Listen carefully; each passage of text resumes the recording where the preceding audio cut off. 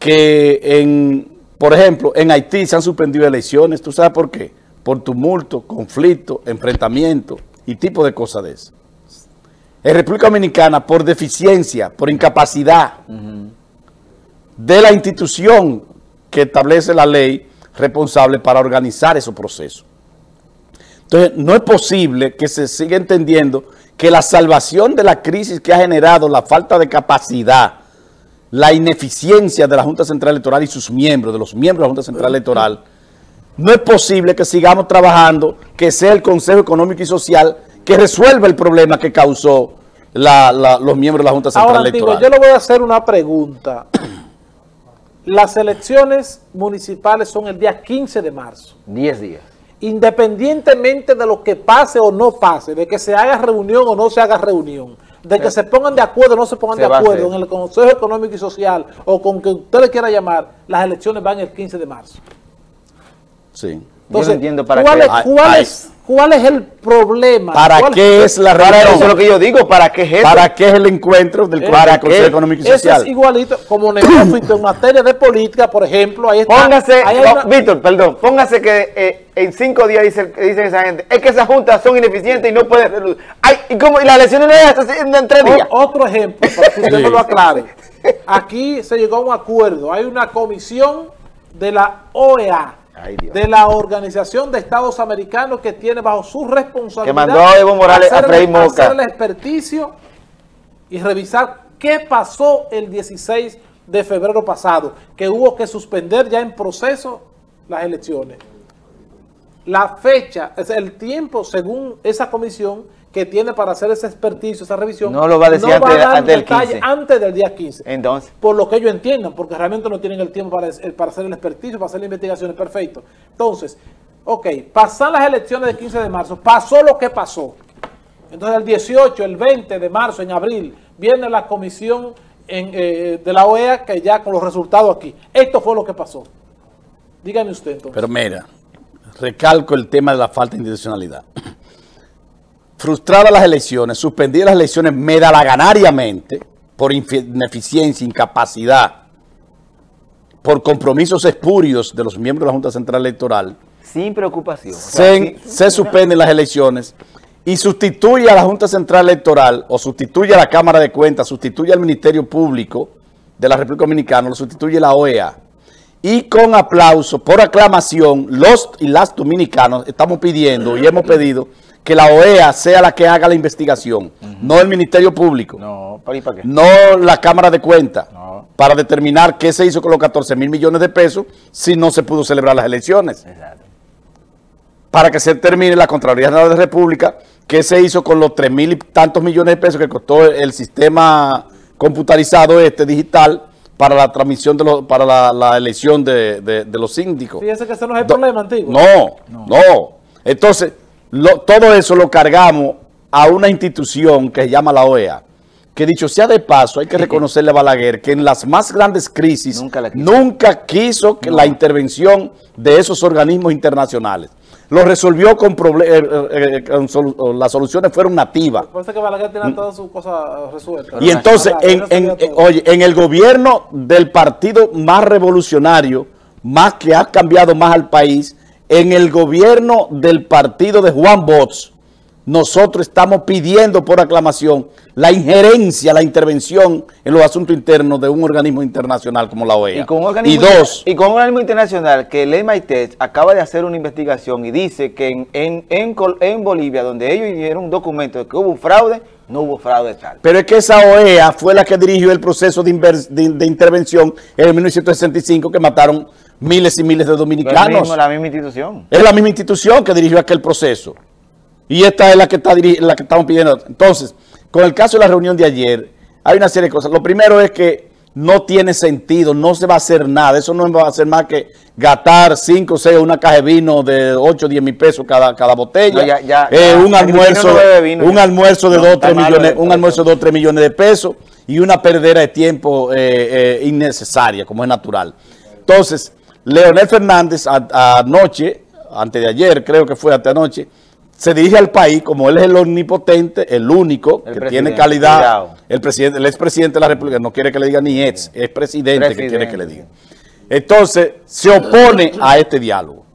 Cuando lo correcto es que, que como él lo conoce tanto, porque él lo, él lo hizo, él lo parió, él lo engendró, lo crió, el Consejo Económico y Social, lo que él debiera decir es que esa no es competencia del Consejo Económico y Social. Entonces, mire por qué, mire, mire algo que yo dije y hace- que el momento no es para la reunión de ese consejo porque no, No, va a tener no, efecto. no va a mire algo, mire lo que yo dije hace como dos semanas y que alguien lo comentó después, que yo dije que la, la, la manifestación, la marcha, la protesta que se llevó frente a la Plaza de la Bandera y que en el país entero se llevó a cabo, era dirigida, y lo dije porque veía personas dando declaraciones dentro de la marcha que obedecían a cierto alineamiento político, por eso que yo dije en ese momento que era dirigida. Eh, Leonel Fernández se opone a esta reunión que convoca el Consejo Económico y Social, porque él dice que no tiene, que es inconstitucional que lo haga el Consejo Económico y Social. Incluso cuando habla de la convocatoria que se convoca a los partidos políticos, él dice que hay que convocar también esa juventud que estuvo protestando. Pues cuando él dice eso, posteriormente a eso, se concentran frente a la Pucamaima, donde está llevando a cabo el conversatorio, a, con los cacerolazos. Entonces yo me Dos pregunto, cosas. aquí hay- somos nosotros pipiotas para no, para no saber cuál fue el mensaje que él envió. ¿Qué hace? ¿Por qué están esos jóvenes protestando ahí? Y, do- y dos cosas. Lo primero es que el Consejo Económico y Social convoca, o- o- oye qué convocatoria, al PLD, al PLD, al, PR, al PRM, La fuerza del pueblo. ¿m? a Guillermo, y entonces convoca a la Fuerza del Pueblo y al Partido Reformista. Pero sucede que están invitando el PLD como fuerza que tiene representación En en- eh, en- eh, para, para las elecciones de mayo. O sea, lo que están invitando es al partido para que vaya en, al partido que, que, que retiene, mantiene la cabeza de la alianza. ¿Qué hizo el PRD? Le metió todos aliados. Fue esa la razón por la que se, por Sí, la que, el- por la que se suspendió ayer la reunión. Según Paliza, ellos no estaban invitados y, y no, por lo tanto no podían Entonces tú ves ahí en el PLD que está el PRD, que está el del PUN, que todos aliados del PLD, lo llevó el PLD, Tigre al fin. ¿Tú me entiendes? Porque que la misma, lo- los mismos convocantes que el Consejo Económico y Social, te repito, convoca a un, a un partido en la representación de su candidato presidencial, pero viene e invita a Leonel como candidato de la coalición de partidos que incluye el Partido Reformista e invita al Partido Reformista. Ahí le iba a decir. E invita al Partido Reformista. Sí. Por Ve, do- do- por Y otra cosa es que Leonel pide que participen los jóvenes. Los jóvenes no es una figura jurídica, no, No. tiene, no tiene eh, personería jurídica. Ni eso es una institución. Eso no es una institución. Entonces el Consejo Económico y Social. ellos participaron. Y si fueran los llamados notables. Pero ellos participaron Oye, ayer en el frente. Oye, si fueran los llamados notables del 1986 que nombró Balaguer ante la crisis electoral de 1986, Balaguer con la Junta nombraron una serie de notables, entre los que estaba eh, eh, eh, el obispo de, de- de- que era de Santiago, el dueño de la Ucamaima. Flo, Se me fue el nombre.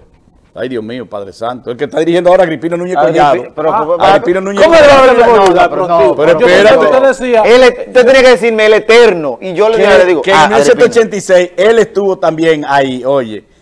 Y eso sustituyó, fue la, fue la, fue la comisión de, de notable que decidió que Balaguer fue el que ganó, no fue la Junta. Entonces, con ese precedente, ¿qué buscamos ahora con esto? Además de lo que decían ustedes hace un rato, no tiene efecto porque lo que se decida ahí no tendrá impacto en la, en la Antigua- elección Antigua, que mira, está convocada Ustedes- para el, ustedes saben un dato. 10, Antigua, el día lo- 15. Un- Para dar un dato, que Gerald está por ahí. Ustedes saben un dato, que el único país que tiene una Junta Central Electoral es Dominicana. Ningún país del mundo tiene una Junta Central Electoral. Quienes, quienes hacen las elecciones en todos los países es interior, es interior y policía. En la interior, política interior. Es eso, no hay una junta, no existe. Antigua. En Bolivia no existe, en, en- en Chile no existe, en Perú Pero no lo, existe. lo peor aún. No existe eso. Pero lo peor aún es que esta Junta Central Electoral de nosotros Sí.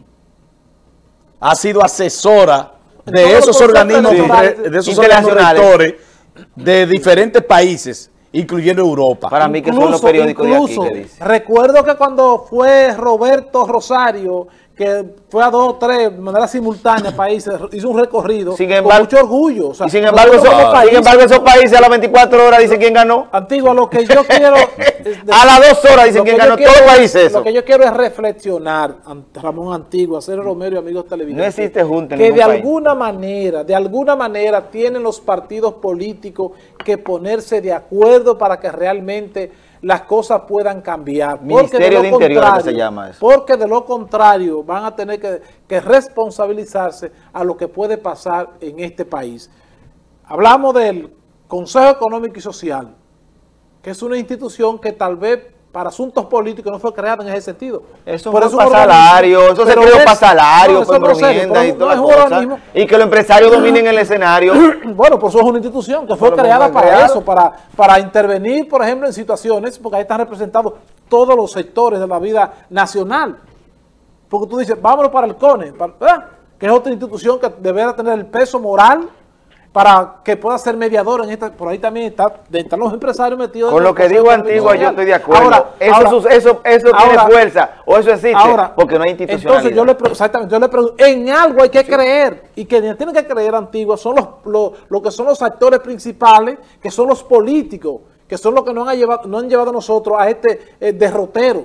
Entonces, tienen que la clase política tiene que ponerse de acuerdo de alguna manera, porque de lo contrario, Mira, Víctor, este país Víctor, va excusa, por. Yo,